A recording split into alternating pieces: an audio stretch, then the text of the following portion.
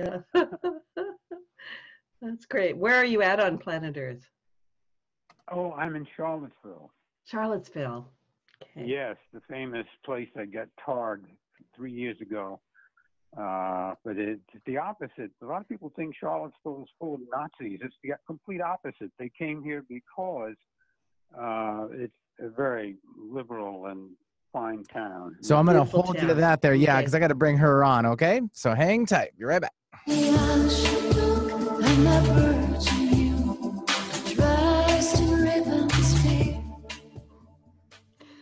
Good morning and welcome to the original Loretta Brown Show, radio to open the heart, heal the soul, and awaken the consciousness. And I always give a shout out to my amazing producer, Benny Mathers, because Benny, I wouldn't be here without you. Aww. You know? Thanks. Appreciate it. Well, we do what we can, right?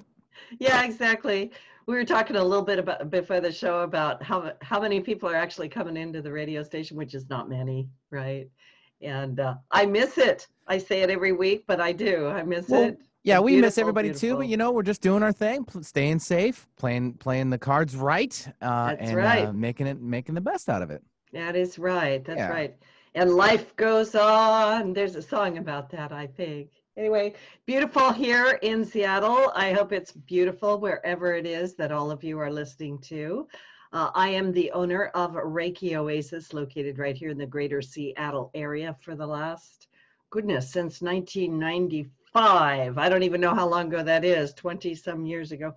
Anyway, um, lots of good things going on. I am doing uh, my, session, my sessions through Zoom and Skype, FaceTime, phone, and um, yeah, things are still happening. We're still around and it's good. This coming weekend, Saturday, August 15th, I have my monthly class with women. It is through Zoom format. We're having a great time. And this class is called Temple of the Divine Feminine. And I hope you can join us. Anybody can come, especially because now we're on Zoom. It doesn't matter if you're in the Seattle area. You can sign up for everything at schedule.reikioasis.com.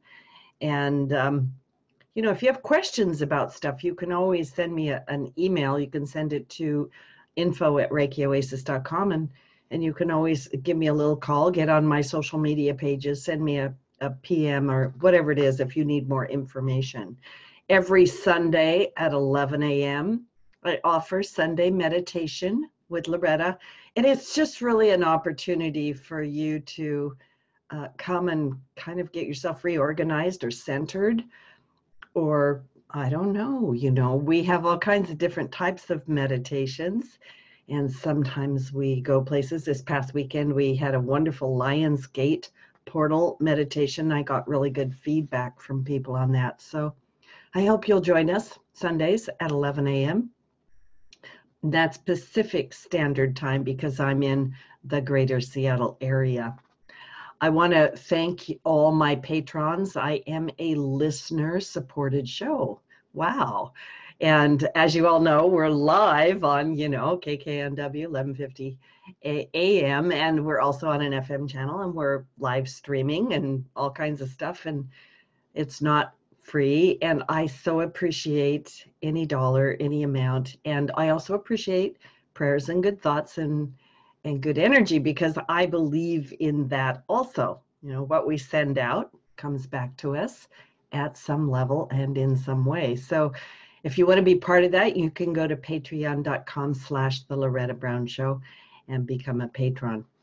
I want to give a quick check-in with astrology before I bring on my amazing guest, who I'm very much looking forward to.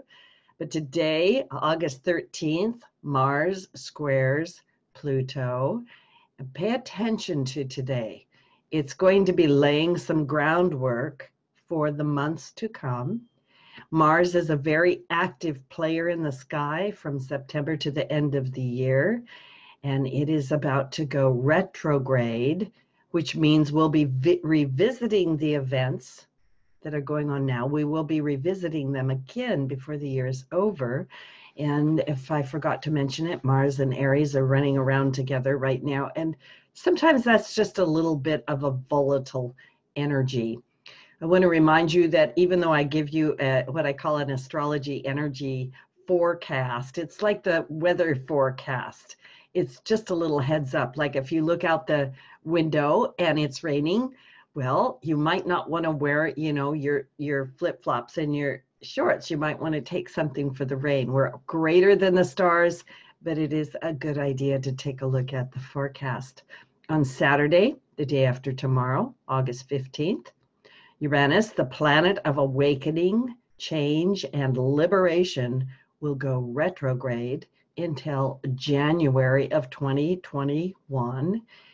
And uh, Uranus will guide us to address the things that are crumbling in our lives, in our planet, globally, politically, personally, either by helping us to let go or by helping us to gain a new perspective so we can strengthen them or redo them. Like I said, it's about awakening, change, and liberation. So Uranus can be the planet of revolutionary thought. Well, good good day for my guest to be here, and can connect us deeper to our higher guidance, God, guides, angels, whatever your your uh, whatever your flavor is out there, so we can live life from a higher perspective, which in my opinion, changes everything. You may have dreams or visions of past experiences or incarnations, or you may be guided to remember lost knowledge or wisdom from the world around us. You maybe maybe you're going to bring something in that will really help us in this time of change. Uranus will be retrograde, by the way, through the sign of Taurus, which means that we may feel a push pull between embracing the new and letting go of the old. And Uranus will be in Taurus until 2026. So we're going to be working on these themes for quite some time. Um, when things are retrograde, I just want to remind you that is not the end of the world. That is a revisiting and an opportunity to possibly look at things differently or do them differently. And then coming up this next week, Tuesday, we have a new moon in Leo. We just went through the Lionsgate portal, which is a yearly portal, and it's a high frequency energy. It just shines the light on things. And many of you have been complaining that you've been really tired and really fatigued this week. And this often happens when we're, we're going through some kind of a change, right? I know there's a lot of stress out there because that's a lot of the work that I do with people is kind of helping you come back into the light or, or stabilize yourself in some manner. But remember that we are going through change and this new moon in Leo is bold, it is brave, it is big hearted, and it is giving us supportive energy to possibly take a leap of faith and see how we can make the most of wherever we are currently finding ourselves. So, if you, I think that's a wonderful segue to bring my guest on. And if there was ever a time on planet Earth for us to be talking about miracles or things that are maybe even beyond our understanding, this would definitely be the time. So, if you've ever been fa- fascinated by or even personally experienced extraordinary events that we often call miracles. You're going to really enjoy my show. My guest today is Dr. Michael Grosso, PhD. He's an artist, philosopher, professor, teacher. He's an author of many books to include Smile of the Universe Miracles in an Age of Disbelief. Michael has a PhD in philosophy and an MA in classical Greek and has taught humanities and philosophy at a number of institutions. He's also participated in the work of the University of Virginia's Division of Perceptual Studies and he's the director of the American Philosophical Practitioners Association. He conducts wisdom seminars. I love that. Discussion groups that apply philosophy philosophy to problems of everyday life. I love this subject of miracles. I'm so glad you're on the show, Dr. Grosso. Welcome to the show. Well, thank you very much, Loretta. I'm I'm happy to be here and look forward to chatting with you. Very much so. Um, so I'm just going to start out. What is a miracle? Okay, that's, that's, a, good, that's a good question. Look, uh, it, it, I think it's uh, the term is used broadly to, uh, you know, excuse me, I'm going to put this down with the speaker. I'm getting a little buzz. I want to see if this works with the speaker. Okay. Can you hear me? I yeah, we still got you. Mm-hmm. Mm-hmm. Oh, okay, good. Yeah, I, uh, the I use the word miracle in two senses. One, it has the sense of uh, smile. If you look at the root uh, of the word miracle, it's rooted in, in a word uh, SMI, where we get our word smile. So that's the rhetorical. So anything that sort of astonishes us and and uh, induces a sense of wonder. That's the first characteristic. But for me, the crucial characteristic is that a miracle is something uh, that current science cannot explain, in particular, current materialist science. So uh, I, my use of the term then really takes in quite a bit of territory. Uh, the other thing is, uh, I'd like to say about how I'm using the term miracle.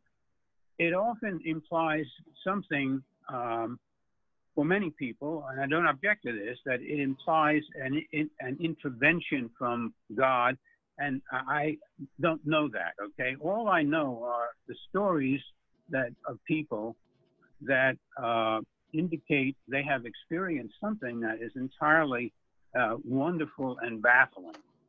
Uh, but as to the origins, I leave that uh, to listeners and to others. I don't know the answer to that great question, and I'm humbly admitting that fact but I'm unhumbly insisting upon the reality of all kinds of strange phenomena that we can't explain. Um, I love that. And I, I wanted to start with that question because, you know, we can say things like, oh my goodness, that person's in love with me. It's a miracle. All the way to, oh my goodness, I think that there's uh, tears coming out of that statue, right? You know? Right. Yeah. So it's kind of a broad term, uh, the, the idea it, of it miracles. It is a broad term, but uh, because I don't want to leave things out. But on the other hand, in the back of my mind is a very clear sense that there's something here that is challenging mm-hmm. current science. Uh, that's the part that I want to insist upon. And that's why, I mean, you just mentioned the statues that, um, that bleed and weep it's entirely unknown to most people that, particularly from the 1990s on, all over the world, there have been epidemics in religious countries, of course, that have statues that are, have religious connotations. Uh, but th- we're seeing this all over the place. Uh, in the United States, uh, in, in, in, Russia, and various parts of Europe, Africa. Uh, it's something that mainstream science doesn't even want to think about because it's on the face of it so completely strange and absurd. But I myself uh, begin my book with my own experience in a story in New York uh, some years ago uh, where there was a statue that was weeping and it was in the newspaper and on on television and I went there and I witnessed it with a colleague so I could see uh, that this statue uh, was around the eyes of statue of Saint Irene in a Greek Orthodox church uh, had been um, pouring out tears, and I saw. I don't know whether at first I didn't know whether they were tears or not. They were liquid that looked like tears. Later on, they were studied and analyzed by scientists, and it was determined that they were in fact similar to human tears. Now, how do tears come out of a, you know, a statue is uh, is a complete mystery, and a beautiful mystery, though. and uh, but uh, so anyway, those are my my my thoughts about that. I I love um, I loved your book, by the way. It's really uh, fascinating to read, and and because you've got such a, a scholarly approach to it, it it's it's really quite wonderful as well as you bring all the stories out for us to read and think about. But yeah, starting with that story where you actually go to that statue of I think you said Saint Irene because I you caught my interest right away. Um, uh-huh. You know, I think that we have within ourselves uh, sometimes a natural skepticism, like, is mm. this a hoax? Like is this real? And and mm-hmm. i've even had you know because i've had experiences where i've seen things and then it's like i'm going am i really seeing this? Right? Mm-hmm. yeah. Yes yes. I mean uh, uh, we're you know we should be skeptical about things that completely depart from our habitual experience but not so skeptical as to close things out uh you know too you know we too too rigidly uh skeptical but careful in terms of seeing how how much the skepticism really holds up and how much we need to admit that there's something going on we don't understand. Yeah, and I also am. Uh, I was listening to what you said. You know, mainstream media has kind of a, a science. You know, is is like has a hard time really approaching this. Whereas, like when you have these things like um, uh, Our Lady of Fatima, which uh, I was glad you mentioned her. I've been having an experience with her, which is kind of interesting. And oh, wow. I've never been to Portugal and, and I'm not Catholic. And it's just mm-hmm. one of those things that happens to people. Um, but where, where lots and lots of people will come to that area, right? So we have these kind of an extreme, right? right. And yeah. I mean, there's the basis for that. I mean, historically, uh, there's a, first of all, the influence of science uh, has been very powerful on modern culture. And modern science is physical science. We scientists know how to uh, and have learned how to understand and manipulate physical reality to an amazing degree. And so it's difficult to um, uh, for some people who think that science is confined to that range of topics, to accept the reality of uh, something that doesn't quite fit into the materialist paradigm. But that's a mistake that we have to resist because uh, there are more things in heaven and earth, as Hamlet says, than are dreamt of in the, in, the, in the philosophy of contemporary materialism. So let's wake up and, uh, and see what these things mean and uh, and explore them. But you're right, there is a, a, a bias, an academic bias, and the press, the mainstream press, which I admire profoundly, uh, and for many reasons, but they do tend to go along with what they view as established science, and it's difficult to get a um, a hearing uh, from the mainstream uh, consciousness. We'll put it that way but it is uh, it's a it's a battle, uh, or let's say uh, a gentle, nonviolent war that's going on as we speak, and you're you're in the uh, you're part of it because mm-hmm. you're uh, allowing me to talk about these things to uh, a public, and that that that's great. So it, it things are changing, and I do believe that. there is a a, a, growing movement around the world, a, a new consciousness emerging in various places, including, by the way, many academics. I know a few of them myself. uh, I, I love what you just said. I was actually going to ask you if you think that, and I, I don't even know if you can answer this question, is like, are, are we seeing more miracles than, than we have? Is it are we reporting more of them? Are we just becoming more conscious? How would you respond to that uh, question? It's a good question. I, I, of course, don't know. I mean, we don't know what's going on mm-hmm. in the bulk of the world, right? I mean, in poor countries, uh, uh, lesser, uh, more less advanced countries that are still operating very often with spiritualistic beliefs and practices, we have no idea what's going on there. So, uh, but there are there is evidence, as I pointed out. Uh, if you look on the internet for bleeding statues and uh, and and and, uh, and paintings, uh, bleeding and weeping, uh, at least the last time I looked, which was a while ago, uh, you'll see all kinds, especially in the 1990s, I found and incorporated some of that material into my book because I was so shocked. I mean, I knew that uh, stories of uh, bleeding uh, statues and weeping statues go back to the 12th century. I mean, I mentioned some of them, uh, mm-hmm, mm-hmm. but they seem to be on the increase today. It could be there's more people and more ways of communicating.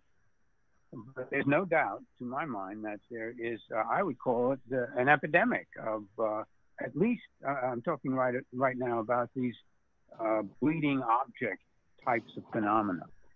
And uh, I, I, find them completely, I mean, it, it's so shockingly strange to think that an inanimate thing can produce a tear or, or blood.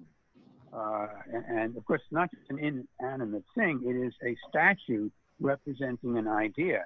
Mm-hmm. Let me throw in the, uh, the notion that the miracles ha- tend to happen and transpire around symbols of exceptional power.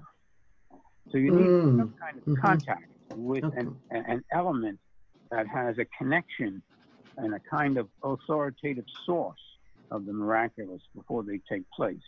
And that often uh, involves a, a, statue or a ritual or perhaps a piece of music uh, or an apparition that a child has. Uh, can often, as in many cases of Marian visions, set in motion a series of experiences that involve miracles. So there's a process that goes on here, and uh, it it's, um, does seem to be on the increase uh, today. Um, wow, you said so much in there, um, Dr. Grosso. I mean, you really did. I I'm thinking of ten questions, so I'll I'll try to okay pull them out because I'm that girl, you know, I'm that curious girl. And okay. um, I, I just kind of want to point out that, you know, when we talk about miracles, and maybe I'll just ask this as a question do we need to be religious? Do we need to have been doing some kind of a special, you know, like fasting and meditating? Or what are your findings regarding that? Well, that's a good question. I think the the answer is uh, both. In other words, okay. many miracles, so-called miracles, extraordinary phenomena, occur in the context of belief and expectation, ritual, uh, psychophysical practices like fasting uh, and prayer, uh, and very often they do result in extraordinary uh, events. But just as often, it would maybe not just as often, I don't have the number, frankly, but I do know that there are cases of individuals uh, who uh, have no religious sentiments at all, aren't thinking of anything religious, and these extraordinary things happen. Uh, like I remember being, I'll give one example, a, a, a man, because I've written a book on, on levitation, which is another interesting phenomenon. And a man uh, uh told me a story of uh, how he fell off a boat, uh, a motorboat, and uh, accidentally, obviously. And as he was falling, there were other people on the boat and watched him fall. Somehow, his his body was slowed up long enough as he was falling. In other words, the gravity shifted instead of plunging directly into the water which probably would have killed him and he would have been swept over by that boat. Yeah. It his body slowed up in space and he was able to reach out and grab a rope and save himself. And everyone on that boat witnessed it. And uh, so uh, this is in ordinary life. Right. The eruptions yeah. of the impossible and the strange do take place. And I only knew that story because he heard me on the radio and then got in touch with me. I would have never heard of it before. So um, the answer is it seems to be democratically open, whatever the source of these extraordinary phenomena. Uh, and it's not so ideologically or religiously tied down as one might suspect. Well, and it crosses cultures and religions and ages and exactly, exactly, right yeah. And it, and it, in so doing i believe it reflects a universal spirit. I have nothing against separate religions because different religions different people have different experiences of the one great universal mind that i happen to believe is at the bottom of all this so yeah. there are different traditions different periods of history but when you look closely at the history of spirituality, I think it's obvious, at least to me, that there's one source behind it all mm-hmm. and different ways of interpreting different names uh, that are uh, devised by different cultures to describe their experiences. And that's perfectly all right. And mm-hmm. I think, I hope we're moving toward a more ecumenical uh, view of human spirituality. Uh, and uh, and I think that there is a tendency in that direction. The the, the great leaders of spirituality uh, have always been, or mostly, I would think. Again, I'm not absolutely certain. Uh, open to the ecumenical spirit, but mm-hmm. above all, in these days, modern times, we really need to emphasize the universality of these phenomena, so as to what hopefully increase uh, the sense of oneness of uh, of the human race. We sure could use that nowadays, right? we certainly could.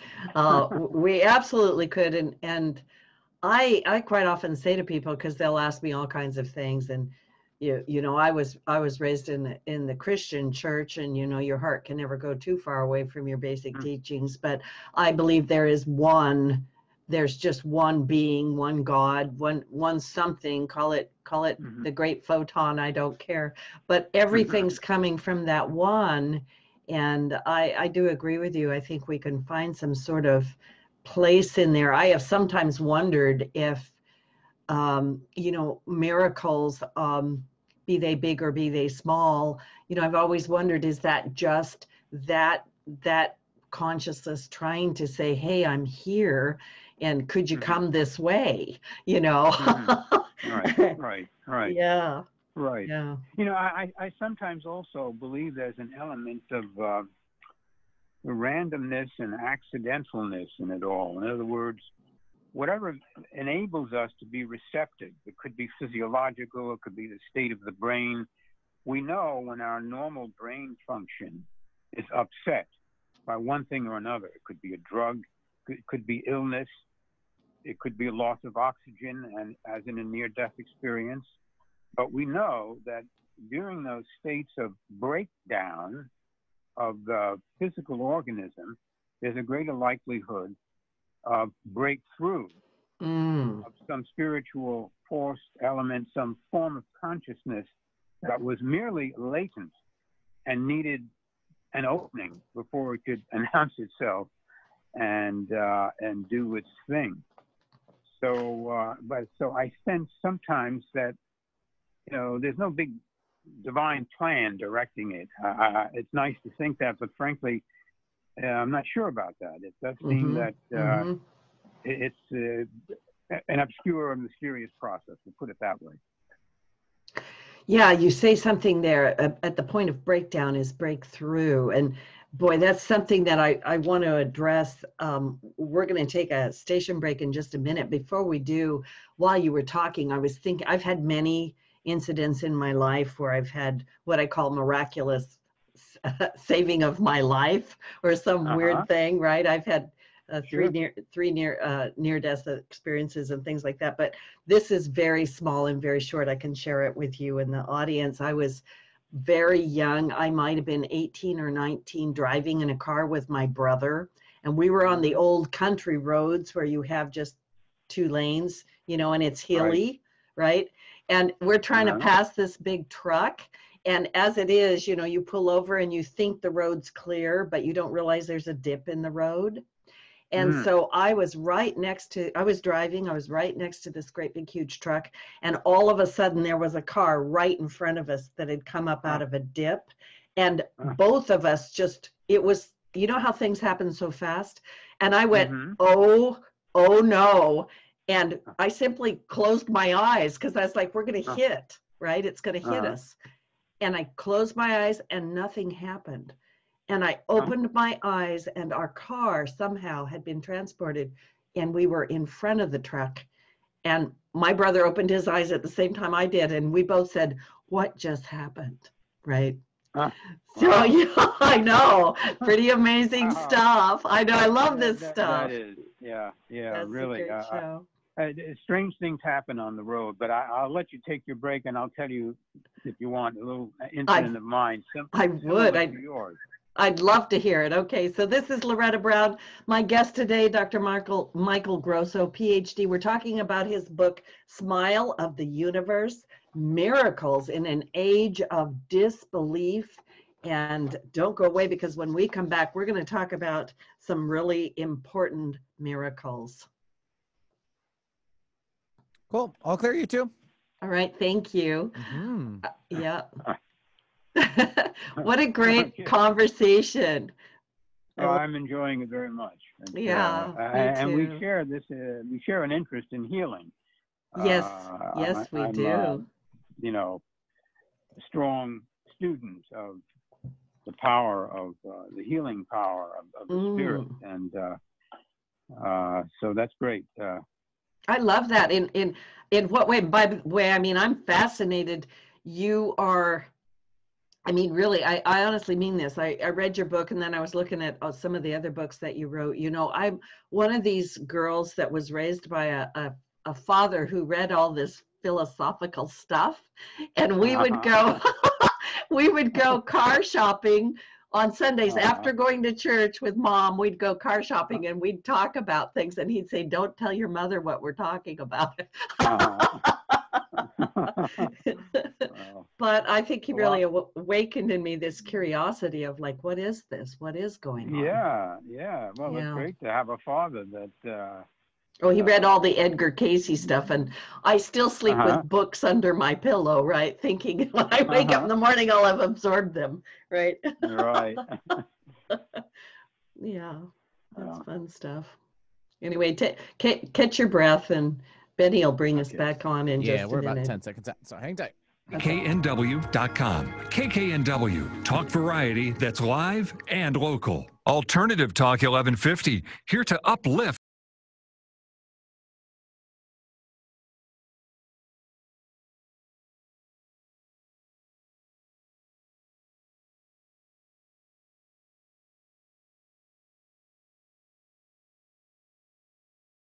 thank you, Benny. I love that.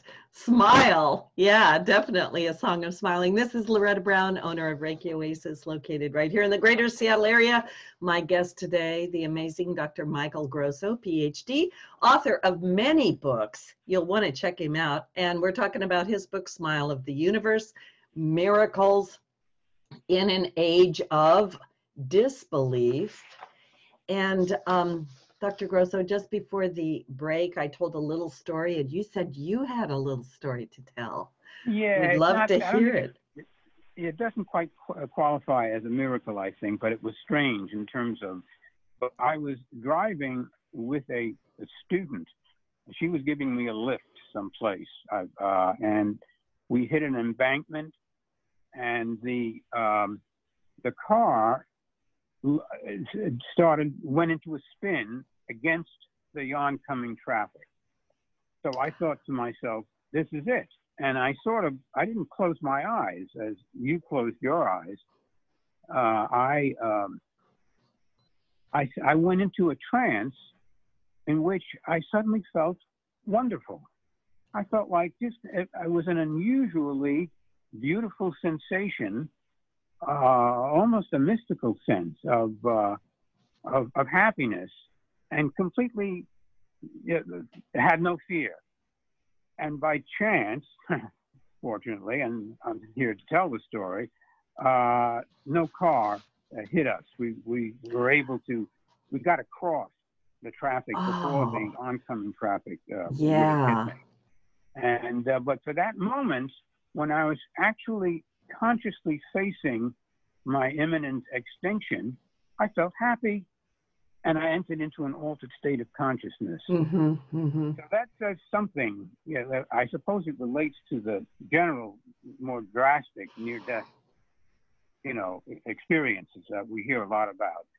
But uh, I never forgot that experience. It it it, it, it kind of uh, armed me against the idea of death. That there's somehow some part of us or aspect is familiar with it and isn't afraid. Uh, and uh, anyway, that's just is my little story. Not quite a miracle, uh, but I I I actually think it was a miracle. I I I mm, like I don't know how to interpret it. Sort of like you, like we observe these things, and but when mm-hmm. something catches your attention like that, I always think we're aware of that. There's something there, right? You know, that's unusual. Yeah. Yeah. Yeah, that's unusual. Maybe you passed through a a, a portal to the reality where you did not get hurt. yeah. Who knows? Yeah. I mean, you know, these yeah. these things, you know, people talk about quantum jumping and parallel realities and that mm-hmm. that the euphoric feeling, you know, I think ties right. into something. Yeah. Yeah, that was the word I was looking for before, euphoria. And mm-hmm. you don't feel euphoric when you're facing death. Not normally, I don't think. so maybe that is a miracle, right? Unless you're in now times going, yes, I'm out of here. But you know, don't, don't do that, listeners. Don't do that. You know, just just right, making, right. making a joke.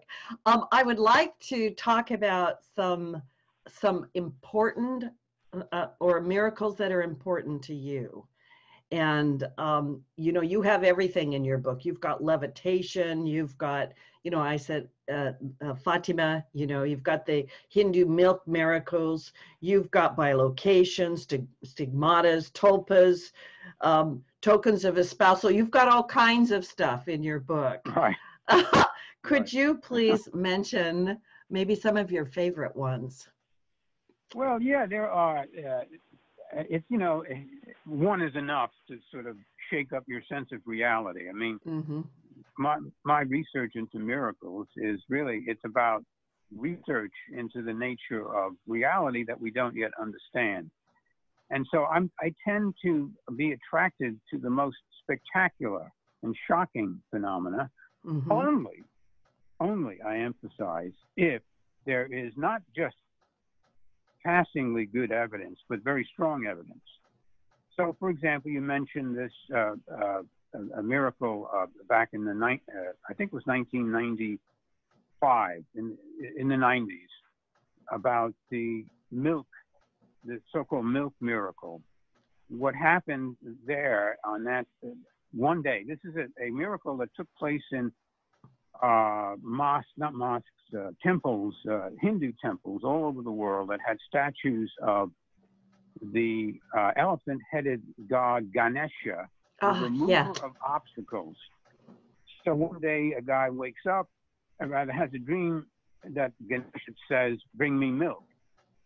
So he goes, he wakes up and he brings some milk to a statue. He puts the milk, but the milk disappears. Everyone, the people start to notice that, and before you know it, it's happening all over the world uh, in similar types of situations. Now, turned out that I turned on CNN that day and I watched a British reporter perform an experiment. He held a cup of milk in front of a statue of Ganesha, and the camera zeroes in on this little cup, and you can see the milk go down oh. slowly and then disappear. Okay? So I'm thinking, holy smoke. It turns out that this happened all over the world where there were statues. Later, I had two students, two Indian students of mine, who reported to me that they witnessed this phenomenon. And one of them was smart enough to go online. He told me three times to convince himself of the reality. And every time that he brought milk up, the same thing happened. It disappeared. So he wrote up a detailed report for me. So oh, wow. I saw this mi- miracle. I saw it myself on television. Hot stuff, right? Yeah. And I had I had students who came to me uh, who were present and uh, and witnessed this phenomenon. So I think this is such a shocking thing. Uh, it, it's shocking in the same way that materialization is shocking, because I mean, it, it, it's as though it, it clearly suggests that there is some other dimension of reality that we're in, engrossed in or entangled with that has to explain the disappearances and the and the appearances, materializations of whether it be uh, food or or blood uh, uh, uh for a statue or or uh, or tears or whatever. So these things are so completely contrary to our normal understanding of the world. They say to me that science and philosophy and common sense is way behind mm-hmm. the actual reality of the world. Uh, and, and so, as a curious philosopher with an interest in science and an interest in spirituality, I'm, I, I'm pushing in this direction. I want to understand what these extraordinary and strange phenomena uh, mean. And uh, so, those are some examples of, I'll mention one, another set of phenomena that I find so wonderfully interesting, namely reported visions of, of uh, the Virgin Mary, which have been taking place at least since the 11th century in England. But I was especially impressed, uh, I wasn't around there back in 1917. in, in, Fatima, in 1917, a, a couple of children claimed to see the Virgin Mary. No one saw that except the children.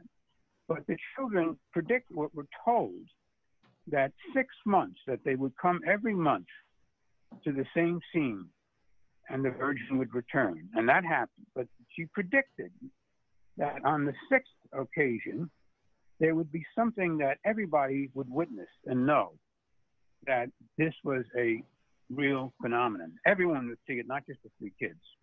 And sure enough, on that last day, I think it was in October, the World Series were going on in the United States. On that day, a uh, a series uh, of events took place that were witnessed by 70,000 witnesses that had arrived that day. What it was is a so-called miracle of the sun. The sun did not move or jump around in the sky, of course, but the impression that people had was that the sun uh, went started to spin and then plunged down toward the earth. And uh, there are photographs of people watching this. It apparently resulted in a, a drying up of the. It had been raining, and everybody saw it, including the skeptics who were there, all set to, to try to deprive these children of the authenticity of their prediction but they were correct. Something did happen that 70,000 people witnessed. And incidentally, uh, UFO or observe, observers of unknown phenomena that appear in the sky have noticed, noticed immediately, uh, or eventually, I should say, that it looked like a typical UFO sighting because oh. UFOs move around in zigzag motion. Uh-huh. And so whatever it was that, that caused the, the appearance of the sun to change moved down toward the Earth in a classic zigzag motion found in the, in the UFO phenomenon, and then went back up and got absorbed into the sun and disappeared. So uh, there are some uh, researchers who suspect that some of these Marian visions may be engineered by uh, beings uh, of a extraterrestrial or higher order reality, and we don't know who they are, where they're coming from, and, and why they should be aware and interested in our religious life. But uh, any, at any rate, that was one of the most mysterious events that I've ever heard about and why it impresses me so much, uh, uh, Loretta, is the fact that you have 70,000 witnesses. Oh, wow. Right? Something that totally impossible and incredible. Uh, so these are my favorites, and I, I could go on giving other examples. Oh, but, I. Uh, I, I have to tell you, I am thrilled with what you're telling me. I love this stuff too. And by the way, I am like, yeah, I want to hear about all the amazing miracles. I want to hear about people's small miracles, but I love this. I love this, uh, your rendition of uh, the Lady of Fatima. And I also had heard this uh, possible UFO connection of some kind. Um, but yeah, 70,000 witnesses, little hard to. Um, uh, wash that one away, isn't it? exactly, exactly. And here's, here's another reason why I'm oh. fascinated by the by the Marian visions.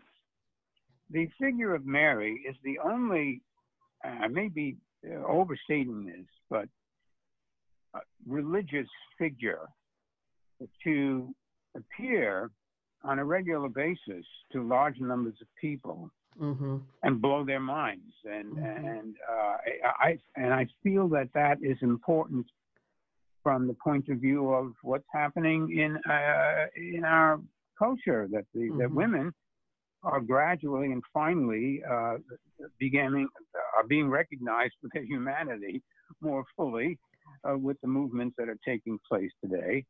And I think that the sign of the feminine power uh, is um, very interesting. Uh, so I, try to connect the the the Marian phenomenon, the totality of it. It's very complicated and there are many aspects of it. To the how should we put it? Uh, the more full realization and uh, assertion of the feminine principle uh, in the divine order, so to speak. Uh, and I think that's that that that social connection with women mm-hmm. is, is, interesting.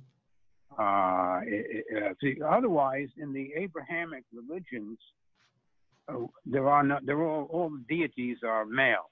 Mm-hmm. Uh, yeah. Not in the Hindu traditions and other traditions, but in the Abrahamic traditions, God is only a man mm-hmm. that doesn't sound right to me. I, I, of course, love what you just said. I, I agree with that totally. And um, yeah, the, the, the Marian visions, they do come to a lot of people and quite often will be in different locations like at, at Lourdes, you know, in, in mm-hmm. France and, and um, uh, uh, Lady of Guadalupe and and you know mm-hmm. the, these sorts of things. Um, just because I alluded to it earlier in the show, I'm just going to briefly tell people I am having, I truly am having some kind of a personal experience with Our Lady of Fatima, who started to appear to me. You know, I'm a, a clairvoyant and, and kind of an odd girl. And she woke me up in the middle of the night a couple of months ago and told me to start praying for the country and the world. So, um, so I did. So I am right? Wow! wow! Yeah! Wow! Okay. Yeah, that, she's that's a, that that that's an interesting coincidence that we're doing this report. And, I and know one of my favorite uh, uh, uh, miracle phenomena. Yeah. Really. Well, I I had to look it up, and I watched a couple of shows on it, and I I really was just it. It's really from my heart, so I just share it with everybody that you know anybody can light a candle and send some good prayers and good energy and whatever it is you do. It, I'm not going to prescribe that, right? But but just you mm-hmm. know bring some attention to uh, bringing peace to the world or or helping us move forward in our consciousness, right? right. Yeah. so that's my little ser- sermon for the day right there. Yeah, yeah, yeah. I'm, I'm, I'm very impressed because that basically that's what the lady has been doing all along. Mm-hmm. What she did to you, I mean, your visitation and the instruction basically is the same message that she's constantly making. Yeah. Uh, you know, to turn over a new leaf, as, as it were, and uh, uh, wake up to the uh, to, to our humanity and, and our spirituality. Uh, but uh, it, it's so interesting to see that that is one of the few explicitly feminine. I mean, even though in the history of miracles, uh, there are countless stories of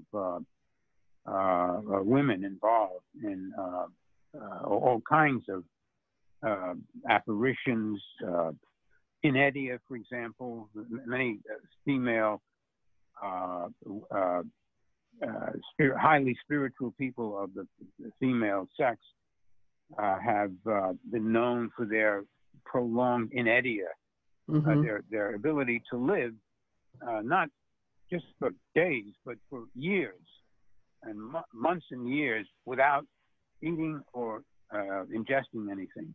Wow. yeah. So that that's that, that's another type of biological miracle that fascinates me. Uh, well, and that ties uh, into uh, miraculous healings, right? Uh huh. Oh, and, yeah. Oh, mm-hmm, yeah. Mm-hmm. Well, and there again, you see, you have uh, what I like to say about miraculous healings.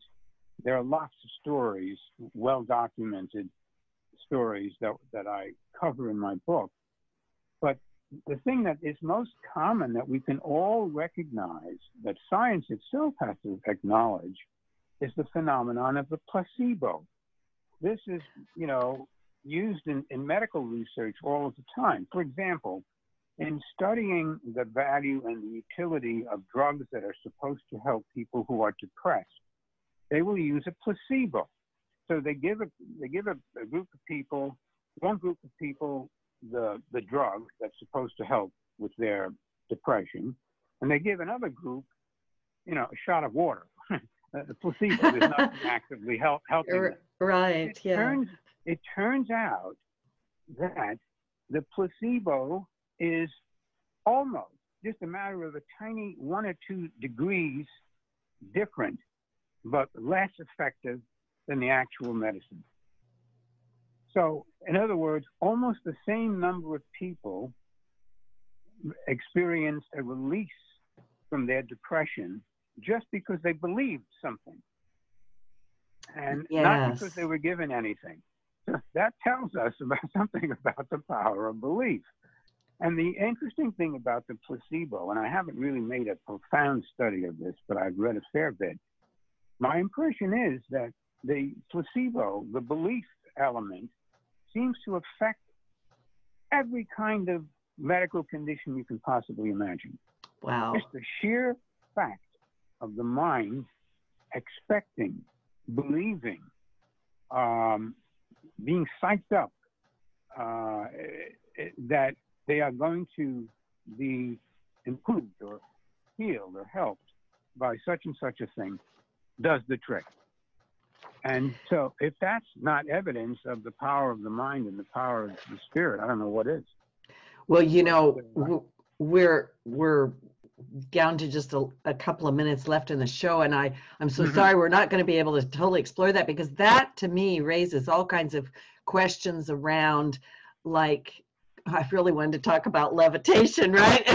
Dematerialization yeah, yeah. and and how how you know are we headed towards some sort of uh, um, uh, opening of our consciousness? You know, I mean, these are sort of random events. We can't really make them happen. But what I mm-hmm. really want to ask you, like the last question, because we're just running out of time, ah, is um, why why do you think people today in our pandemic-based you know disorder here why should we be interested in miracles?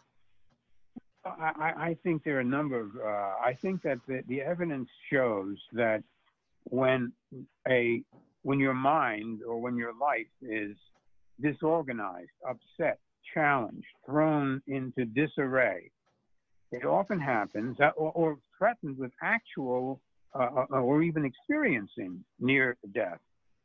It seems to be that it is in these uh, breakdown circumstances that the latent spiritual, psychic uh, powers that human beings, I am certain, possess, and I'm certain only by inference from actual facts that we latently possess all of these ex- extraordinary abilities. My sense is my, my guess, maybe it's just a hope, but it's based on data that as we go more deeply into this uh, terrible crisis, I don't think it's going to get any better. I think it's going to get worse.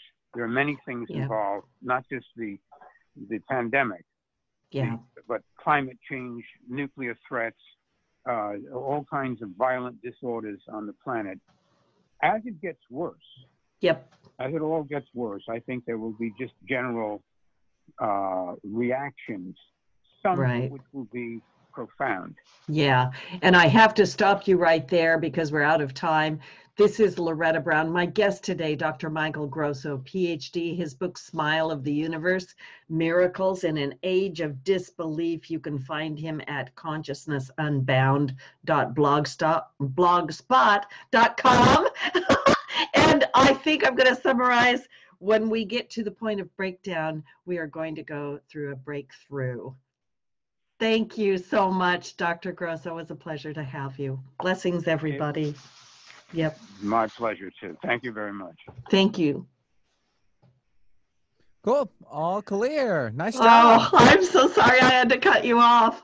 We no, just, no, no, yeah. Thank right. you. From my heart to yours, thank you so much. We'll have